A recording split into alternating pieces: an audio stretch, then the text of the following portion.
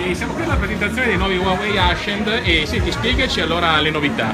Allora, eh, molto brevemente, abbiamo qui l'Ascend Huawei Ascend G7. Le caratteristiche principali del dispositivo sono uno schermo da 5.5 pollici, una fotocamera frontale da 5 megapixel, una fotocamera posteriore da 13 megapixel, quindi come possiamo notare la fotocamera anteriore è stata sviluppata molto di più rispetto magari ad altri dispositivi dei competitor. Abbiamo un schermo Full HD da 1270 per eh, scusate, 1280 x 720 eh, punti, quindi uno schermo comunque in Full HD. Eh, abbiamo la personalizzazione di Android in versione 4.4, la versione di Huawei personalizzata l'Emotion UI 3.0, quindi l'ultima release del software di Huawei.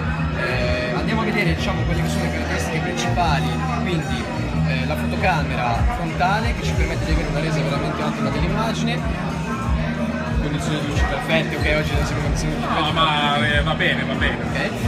La curiosità è la, poter- la- la possibilità di fare i selfie panoramici con l'opzione panoramica, i cosiddetti gruppi, i selfie di gruppo. Quindi prendiamo il nostro dispositivo, premiamo sul click, lui scatterà una foto prima di tutto frontale e poi ci chiederà di spostarci verso sinistra e in successione verso destra per scattare appunto il terzo, se il software svilupperà l'immagine, andiamo a vedere fra le immagini appunto l'ultima immagine che abbiamo fatto, vedremo che la è più ampia. La qualità non è ottima logicamente perché sono No, va benissimo. però eh, questo è il senso. Abbiamo, sì, abbiamo giusto giusto due caratteristiche ancora in più, processore quad core da 1.4 GHz più una memoria RAM da 2, da, da 2 GB e una batteria da 3000 mAh, come che consente una durata molto lunga del dispositivo. Poi abbiamo il fratello maggiore. Ok, passiamo al Huawei Ascend Mate 7. Facciamoli vedere vicini così la gente si rende conto. Assolutamente. Allora, qui abbiamo i due dispositivi con lo schermo sbloccato. Quindi abbiamo le dimensioni dello schermo che sicuramente sono più grandi rispetto a quelle del suo fratello minore, quindi abbiamo un 6 pollici come diagonale, sempre uno schermo Full HD da 1280 x 720 punti, abbiamo uno schermo luminoso comunque allo stesso modo, abbiamo la stessa tipo di fotocamera, quindi 13 megapixel posteriore Certo. e 5 megapixel frontale con lo stesso opzione di poter fare i selfie panoramici. Ora l'abbiamo mostrato nel telefono di prima, ma il funzionamento è, medesimo. lo stesso.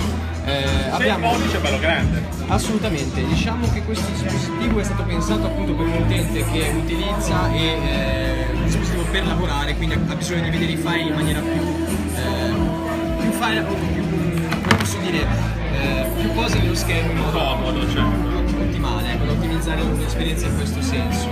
Eh, abbiamo un processore octa-core più un core, quindi 9 nuclei processori di lavoro, eh, sviluppato da Huawei, prodotto da Huawei e 2 GB di RAM. Certo. La batteria invece in questo caso è da 4100 mAh che ci consente comunque una durata sempre giornaliera di utilizzo medio di 15 ore. Quindi niente male.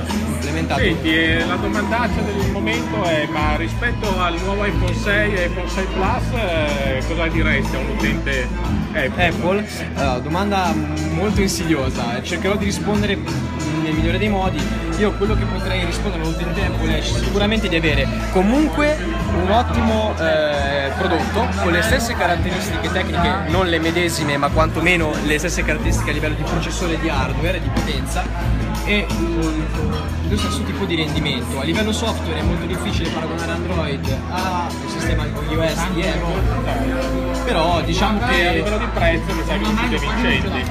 Ecco, il discorso proprio è quello, di avere le stesse caratteristiche tecniche, quindi la stessa potenza hardware a un prezzo inferiore, nel caso del Mate 7 a 499 euro e nel caso del G7 a 399 euro. In questo caso possiamo paragonare due dispositivi, il G7 all'iPhone 6 e il Mate 7 all'iPhone 6 Plus, soprattutto per le dimensioni degli schermi. Perfetto, grazie, sei stato eccezionale. Grazie mille a voi. Buona